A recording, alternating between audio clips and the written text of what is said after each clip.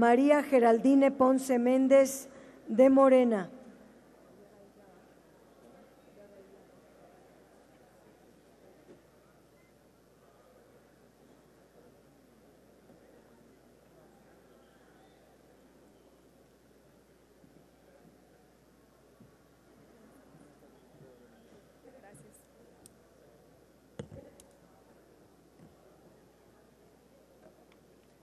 Con el permiso de la presidencia. Adelante. Compañeras y compañeros, transformar el país no es solo un lema de campaña, es una necesidad que tenemos todos los mexicanos. Si queremos realmente avanzar, los tiempos de dispendio deben terminar. Debemos enterrar hasta el recuerdo del grotesco abuso de las instituciones públicas y del dinero que debió servirle a la gente. Dinero que usaron muchos funcionarios públicos para enriquecerse ilícita e impunemente.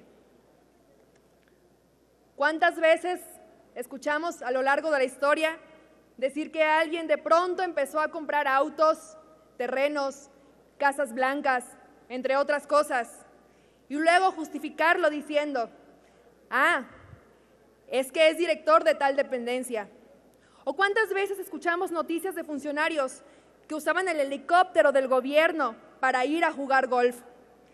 De funcionarios que se iban a pasear al extranjero con viáticos pagados con el erario público, rentas de autos, pagos de celulares y todo esto con el dinero que debió servirle al pueblo.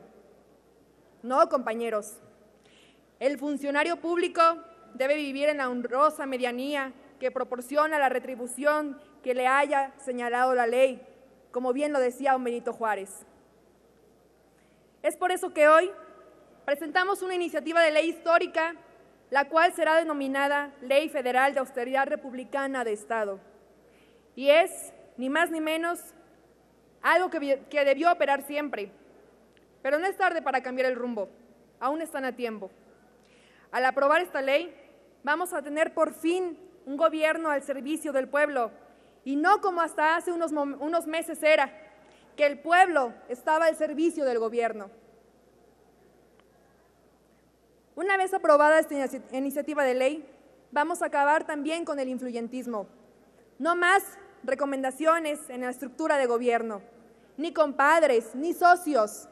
No más servidores públicos que estén asociados con inversionistas, contratistas, y empresarios nacionales o extranjeros que afecte el desempeño imparcial y objetivo debido a sus intereses personales o familiares.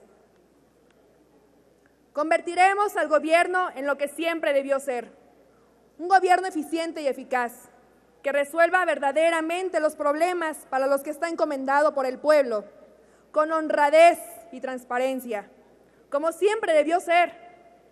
Vamos a construir juntos, compañeros, una nación en la que nos sintamos orgullosos de su gobierno y que por primera vez en décadas tengamos la confianza y que eso se mantenga así, independientemente de quién sea el elegido presidente de la República en lo posterior.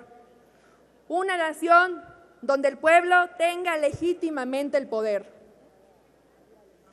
Por eso, compañeros. Eh, diputada Geraldine, un momentito. La diputada María Alemán desea tomar la palabra. ¿Con qué motivo solicita? Gracias, Presidenta. Por su conducto, preguntarle a la oradora si me permite hacerle una pregunta. Diputada Geraldine Ponce, ¿acepta la pregunta? Ahorita no, joven. Gracias. No la aceptó, diputada. Continúe, diputada María Geraldine Ponce. Por eso, compañeros, aunque es evidente que tenemos diferencias en algunos temas, estoy segura que en esto sí coincidimos. Necesitamos actuar y necesitamos hacerlo ya. El país ya no puede esperar más. Recuperemos la confianza del pueblo de una buena vez. Por mi amor a México, mi voto será en sentido positivo. Y si ustedes también le tienen tantito amor a México, les invito a que sea de la misma manera. Es cuanto. Gracias, diputada. Agotada la primera.